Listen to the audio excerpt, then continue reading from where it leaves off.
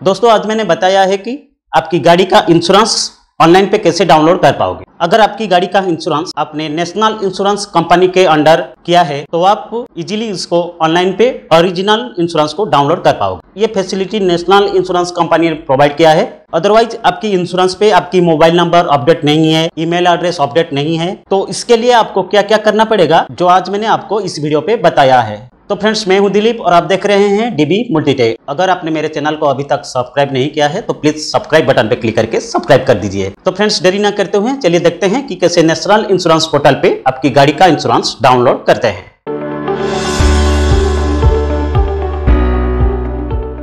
तो दोस्तों, अगर आपकी गाड़ी का इंश्योरेंस नेशनल इंश्योरेंस कंपनी के अंडर है तो आपको पहले national insurance dot N I C dot co dot in portal पर आना होगा। ये पोर्टल ओपन करने के बाद आपको ऊपर से बहुत सारा ऑप्शन दिखाई देगा। एक ऑप्शन है about then products quick renewal customer login इसी कस्टमर लॉगिन पे आप अगर माउस पॉइंटर रखोगे तो आपको एक लॉगिन बटन दिखाई देगा, एक अपडेट कॉन्टैक्ट डिटेल्स दिखाई देगा। इस वक्त आपको अपडेट कॉन्टैक्ट डिटेल्स पे क्लिक करना होगा। क्लिक करने के बाद आपका पॉलिसी नंबर इधर एंटर करना होगा। पॉलिसी नंबर एंटर करने के बाद आपको इधर एक कैप्चा देने कैप्चा देना पड़ेगा। कैप्चा एंटर करने के बाद सबमिट बटन पे क्लिक करना होगा। सबमिट बटन पे क्लिक करने के बाद इधर आपका फ़र्स्ट नेम देना होगा, उसके बाद लास्ट नेम, उसके बाद पिन कोड। ये सारा का डिटेल्स आपकी पॉलिसी जिस नाम पर है, इधर वही करेक्ट देना पड़ेगा। मेरा पॉलिसी जिस नाम पर है, मैं एंटर कर लेता हूँ। उसके बाद लास्ट नेम, उसके बाद अपने एरिया का पिन कोड। पिन कोड देने के बाद सबमिट बटन पे क्लिक करना होगा। क्लिक करने के बाद इधर दिखाई दे रहा है, आपकी पॉलिसी किस नाम, किसके नाम पर है और आपको वेरीफाई करना पड़ेगा। वेरीफाई करने के लिए आपको mobile number email ID mobile number and email ID इसी को, इसी तीनों से किसी एक को सिलेक्ट करके वेरीफाई कर सकते हैं। इस वक्त मैंने, मैं मोबाइल नंबर सिलेक्ट कर लेता हूँ। Mobile number enter the new contact details you would like to update your policy schedule अगर आप मोबाइल नंबर अपडेट करवाना चाहते हो तो ओनली मोबाइल नंबर पे सिलेक्ट करके इधर अपना मोबाइल नंबर एंटर करके आप अपडेट कर सकते हो। अदरवाइज़ आप both mobile number and email ID को अपडेट करवाना चाहते हो तो mobile number and email ID दोनों को अपडेट करना होगा।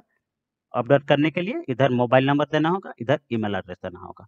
इस वक्त मैंने mobile number and email ID दोनों को चूज़ करता हूँ। इस वक्त मेरा मोबाइल नंबर एंटर कर लेता हूँ।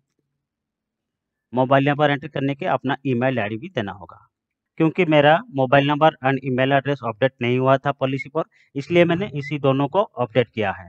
मोबाइल नंबर ईमेल आईडी दोनों देने के बाद आपको वो एक ऑप्शन पूछा जा रहा है do you want to update the contact details against your customer ID अभी यस करना होगा। यस करने के बाद जनरेट ओ पे क्लिक करना होगा। आपकी एक आपकी मोबाइल नंबर पे एक ओटीपी जाएगा और आपकी ईमेल एड्रेस पे एक ओटीपी जाएगा। वही दोनों को इधर एंटर करना होगा। ये दोनों ओटीपी एंटर करने के बाद वैलिडेट बटन पर क्लिक करें। वैलिडेट हो गया मेरा वेरीफाइड डिटेल्स अभी क्या करना होगा? प्रिंट बटन पे क्लिक करना होगा। प्रिंट बटन पे क्लिक करने के बाद स्टार्ट डाउनलोड बटन पे क्लिक करें। इसको ओपन करें। ये देखिए Thank you, your policy holder. Please find below the details update in your policy document and customer ID.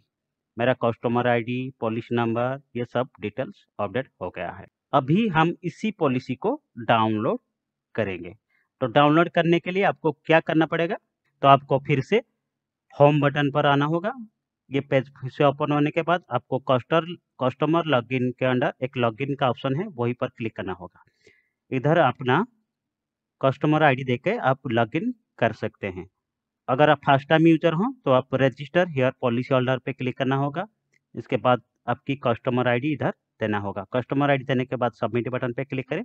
Submit button पे क्लिक करने के बाद ये देखिए, जो आपने अपडेट किए थे, आपकी पॉलिसी पर ईमेल एड्रेस और मोबाइल नंबर, ये दोनों दिखाई दे रहा है। अभी क्या करना होगा, जनरेट ओ पे क्लिक करना होगा। आपके मोबाइल नंबर पे फिर से ओटीपी जाएगा। वही ओटीपी इधर एंटर करना होगा। ओटीपी एंटर करने के बाद वैलिडेट बटन पर क्लिक करना होगा।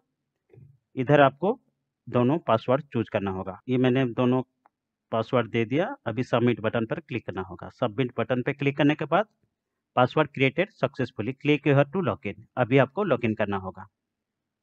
मेरा कस्टमर आईडी और उसके बाद अपना पासवर्ड एंटर करें, उसके बाद लॉगिन बटन पर क्लिक करें क्लिक करने के बाद आपको व्यू पॉलिसी, रिन्यू वही पॉलिसी का, वही पॉलिसी को अगर आप रिन्यू करवाना चाहते हो, रिन्यू पॉलिसी पे क्लिक करना होगा। अभी हम वही सी पॉलिसी को डाउनलोड करेंगे तो इसलिए व्यू पॉलिसी पे सिलेक्ट करेंगे। उसके बाद आपने जब भी पॉलिसी के लिए अप्लाई किए थे, किस डेट से किस डेट तक के अंदर अप्लाई किए थे, उसी डेट सिलेक्ट करना होगा। मैं चार अप्रैल ले लेता हूँ और एंड डेट सेवन अप्रैल पे ले लेता हूँ। यानी कि मेरा चार तारीख से सेवन तारीख के अंदर मैंने पॉलिसी का अप्लाई किया था। उसके बाद सिलेक्ट पॉलिसी स्टाटस पे पॉलिसी इश्यू पर क्लिक करें। उसके बाद सर्च बटन पर क्लिक करें। ये देखिए, अभी दिखाई दे रहा है मेरा कस्टमर आईडी पॉलिसी किसके नाम पर है पॉलिसी नंबर ये डिटेल्स दिखाई दे रहा है। इसको अभी आप पॉलिसी पीडीएफ पे डाउनलोड, पॉलिसी एक ऑप्शन आ रहा है, उसको आप पीडीएफ फॉर्मेट पे डाउनलोड कर पाओगे। ये देखिए, मेरा इंश्योरेंस डाउनलोड हो गया इसको मैं ओपन कर लेता हूँ। ये देखिए, ये पूरा का पूरा ओरिजिनली डाउनलोड हो गया है।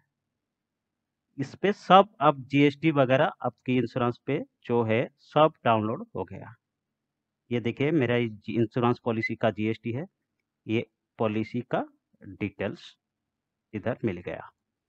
अदरवाइज़ अगर आपकी रिसिप्ट डाउनलोड करवाना चाहते हो तो रिसिप्ट पे डाउनलोड करना होगा। ये देखिए, मेरा रिसिप्ट डाउनलोड हो गया। मेरा मोनी रिसिप्ट डाउनलोड हो गया। और आपकी प्रोपोजल भी इधर डाउनलोड आप कर पाओगे। वो बहुत जल्दी वो ऑप्शन आ रहा है।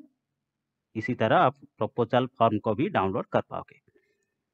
तो फ्रेंड्स उम्मीद करता हूँ आपको इसी वीडियो पे बहुत कुछ जानकारी मिला होगा। इसी तरह नया नया टेक वीडियो देखने के लिए प्लीज़ मेरे चैनल को like comment share and subscribe ज़रूर कीजिए। Thank you